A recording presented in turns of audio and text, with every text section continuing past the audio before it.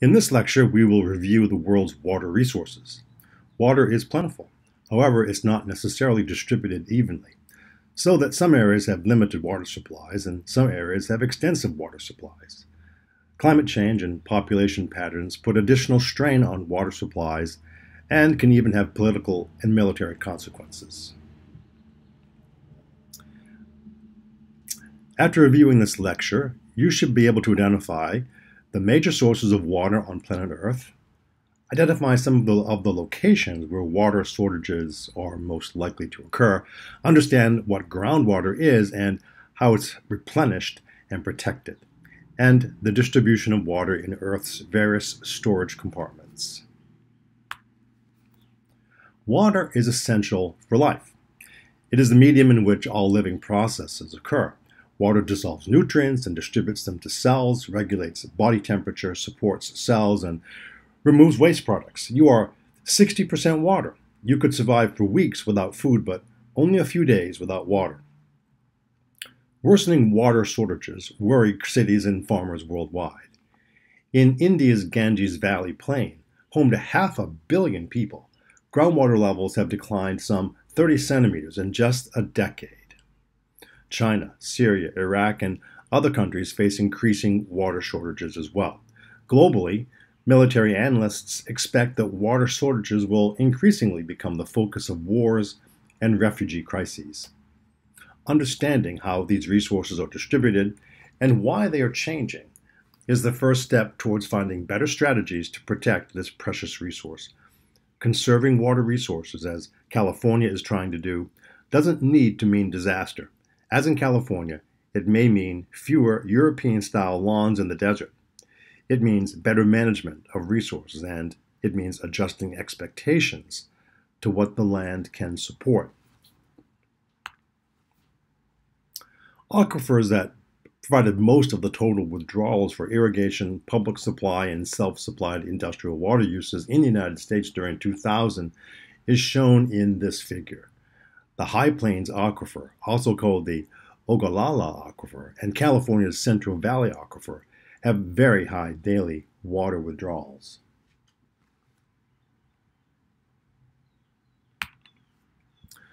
Withdrawals are reducing water storage in many of the world's most important aquifers, including those in politically tense regions. This figure shows trends in groundwater storage from 2003 to 2013 in millimeters of water per year.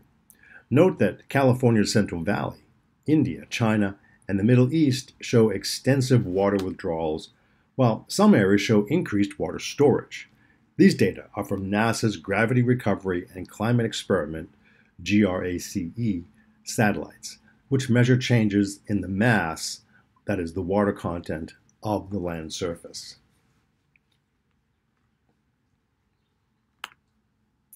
This figure shows total water withdrawals around the year 2000 in millimeters per year, based on an average from 1998 to 2002. One millimeter is equal to one liter of water per square meter. Resolution is 0.5 inches longitude by 0.5 inches latitude, which is equivalent to about 55 kilometers by 55 kilometers at the equator. Certain parts of the United States, Europe, the Middle East, India, and China show significant water withdrawals. These data are computed by the Global Freshwater Model WaterGap.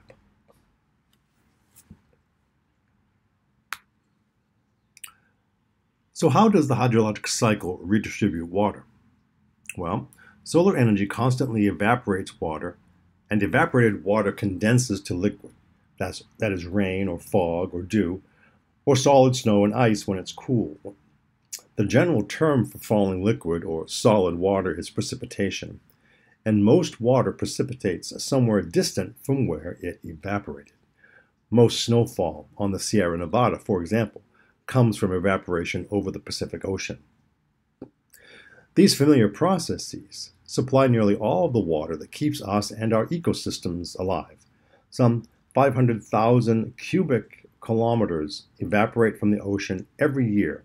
Of this, 90% falls back on into the ocean, but some 40,000 uh, cubic kilometers of moisture drifts over land where it falls, along with some 72,000 uh, cubic kilometers of water evaporated from lakes and rivers and plants. Plants play a major role in this process. They take up moisture and release water vapor from leaf pores in a process known as transpiration. The term evapotranspiration refers to the combined processes of evaporation and transpiration. Both evaporation and transpiration are much more active in hot climates than in cool climates.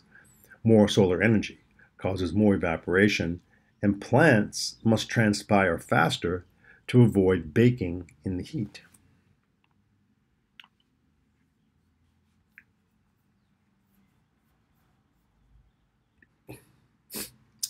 Solar energy drives the cycle of water evaporation, transport, and precipitation. Both solar energy and water that can be evaporated are unevenly distributed around the globe. Consequently, water resources are unevenly distributed. At Iquique in the Chilean desert, for instance, no rain has fallen in recorded history. At the other end of the scale, the Himalayan town of Cherrapunji, India, reported 26.5 meters of rain, that's 86.8 feet, in 1860. In general, water availability is very high near the equator, as in South America, Africa, and Southeast Asia, where solar intensity and evapotranspiration rates are high. Mountainous regions near coasts, such as the Pacific coast of North America, also capture moisture, as in the Sierra Nevada. The leeward or downwind side of mountains tend to be depleted of moisture. In Hawaii, the windward side of Mount Waialeale has an annual rainfall around 1,200 centimeters or 460 inches. The leeward side, only a few kilometers away, has an average yearly rainfall of only 46 centimeters or 18 inches.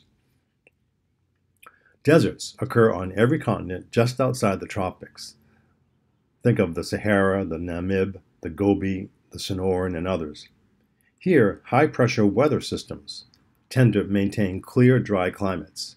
Rainfall is also slight near the poles, another high pressure region. Water availability often varies seasonally. India's monsoon climate, for example, has intense drought most of the year and intense rainfall at the end of summer. Unusually heavy monsoons can cause floods and devastation. Unusually light monsoons can spell disaster for farmers. In this figure, we see annual average precipitation worldwide in millimeters. Note that wet areas that support tropical rainforests occur along the equator, while major world deserts occur in zones of dry, descending air between 20 degrees and 40 degrees north and south latitude.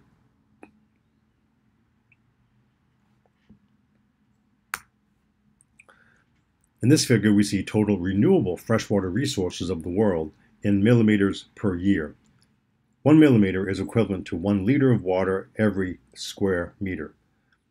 This is based on long term averages for the years 1961 to 1990. Resolution is 0.5 degrees longitude by 0.5 degrees latitude, or 55 kilometers by 55 kilometers at the equator. This was computed by the Global Freshwater Model Water Gap. The distribution of water often is described in terms of interacting compartments, in which water resides, sometimes briefly, and other times for eons.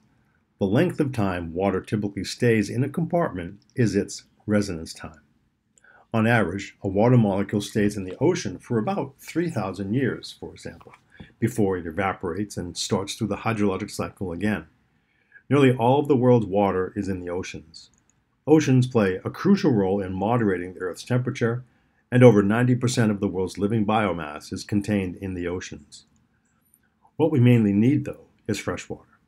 Amazingly, only 0.02% of the world's water is in a form accessible to us and to other organisms that rely on fresh water.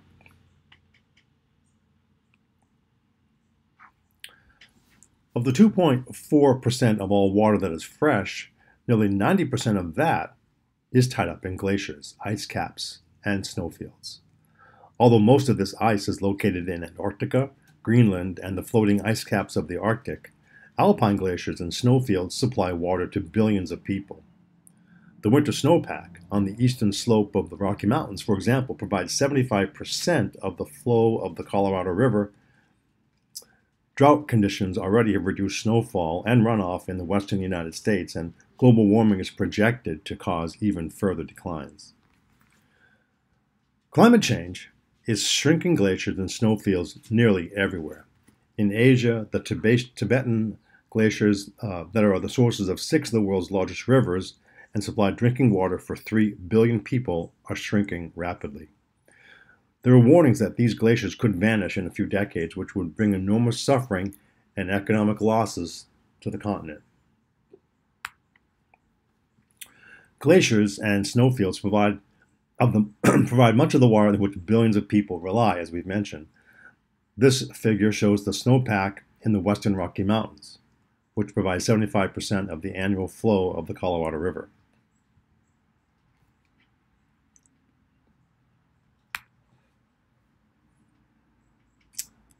Originating as precipitation that percolates into layers of soil and rock, groundwater makes up the largest component, I'm sorry, the largest compartment of liquid fresh water. The groundwater within one kilometers of the surface is more than 100 times the volume of all the freshwater lakes, rivers, and reservoirs combined. Plants get moisture from a relatively shallow layer of soil containing both air and water known as the zone of aeration. Depending on rainfall amount, soil type, and surface topography, the zone of aeration may be a few centimeters or many meters deep. Lower soil layers, where all soil pores are filled with water, make up the zone of saturation, the source of water in most wells. The top of this zone is the water table. The capillary fringe is the zone where capillary action draws water up from the saturated zone to partially fill soil pores. Geologic layers that contain water are known as aquifers. Aquifers may consist of porous layers of sand or gravel or of cracked or porous rock. Below an aquifer, relatively impermeable layers of rock or clay that we term confining beds keep water from seeping out at the bottom. Instead, water seeps more or less horizontally through the porous layer. Depending on geology, it can take from a few hours to several years for water to move a few hundred meters through an aquifer.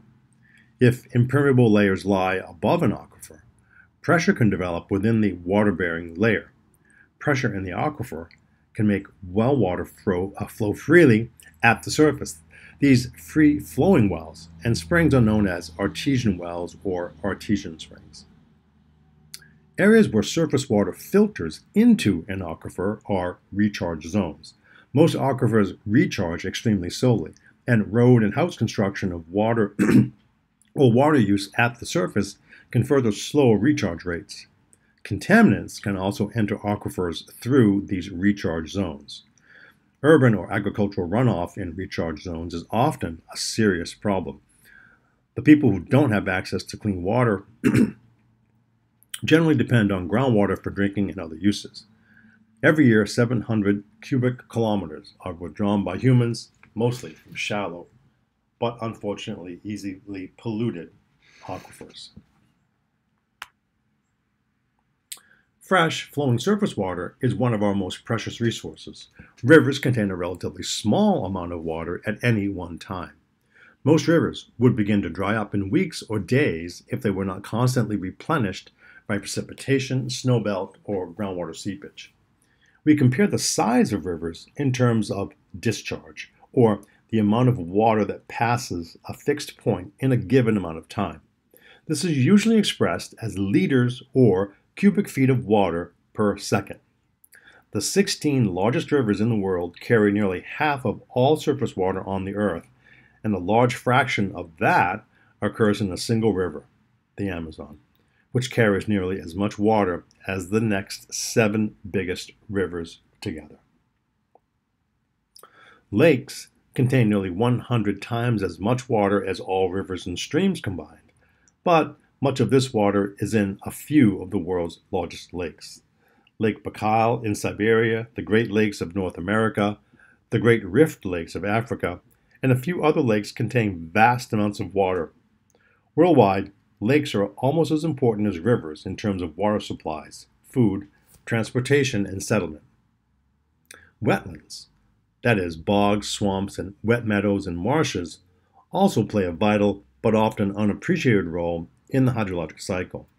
They provide storage for rainfall and flood events and also provide filtration that improves water quality. The atmosphere is one of the smallest water storage compartments and contains only 0.001% of the total water supply. But it is this important mechanism that redistributes water around the world. An individual water molecule resides in the atmosphere for only about 10 days on average. Some water evaporates and falls within hours. Water can also travel halfway around the world before it falls, replenishing streams and aquifers on land. This concludes our lecture for today, and please let me know if you have any questions when we meet again in class.